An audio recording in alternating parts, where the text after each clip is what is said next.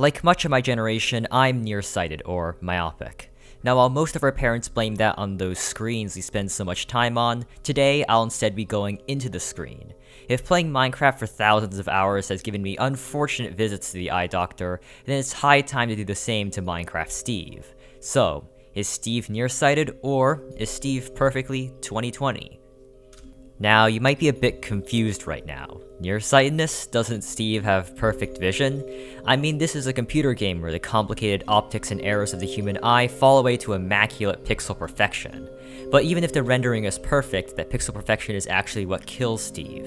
Instead of optic errors causing the problem, Steve just simply doesn't have enough pixels on hand, even at high resolutions. Let me demonstrate.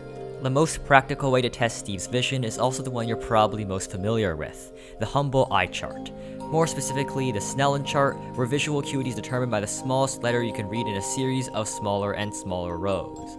Quote, perfect vision in humans is defined as the ability to read this line, which is called 2020, 66, or 1.0. It means a person with perfect vision can read this line from 20 feet or 6 meters away on an appropriately scaled Snellen chart.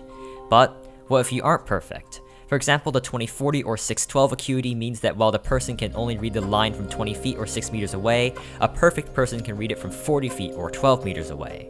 This pattern goes up to 2200 or the big E, which a perfect person can read from 200 feet away despite the impaired person only being able to read it from 20 feet away.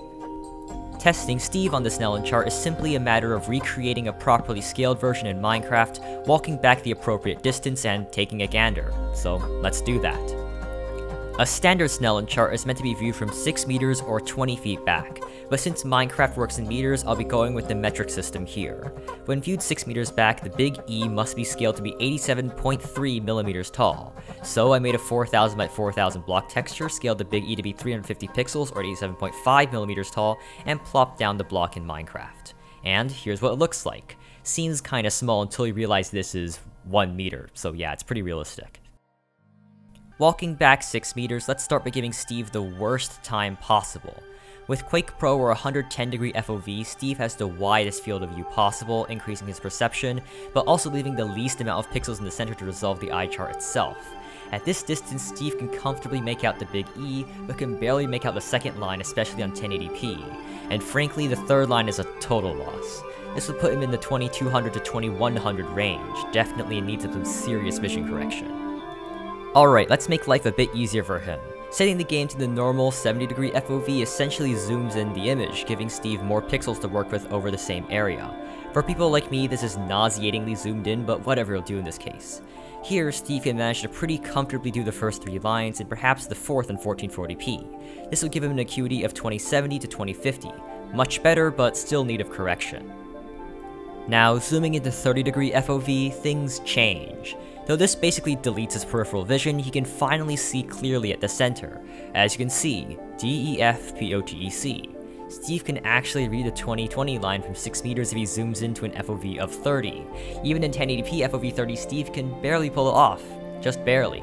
I also replicated these tests using a larger chart and a longer distance, and the results were the same. Steve can make out slightly more detail at high FOVs by looking at things from the side since the FOV stretch gives him more pixels to work with, but this difference still doesn't give him anything close to perfect vision. Overall, not the best performance. Considering the human eye-brain combo can give us 2020 or better vision at a field of view of almost 180 degrees, Steve really can't hold up in the detail department unless you have like an 8K monitor or something. So, going back to our initial question, is Steve 2020? I'm gonna go with no. The sacrifices he has to make to reach it are simply too much. Then again, does it really matter? In his pixelated world, it doesn't really. When any character he can write on a sign ends up being the same size as the big E, does he really need to read anything smaller?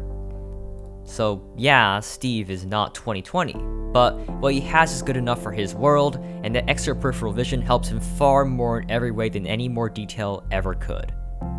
Hello, if you enjoyed this video, consider subscribing for more similar to this. Hopefully you did. Either way though, thank you for watching, and good day, and goodbye.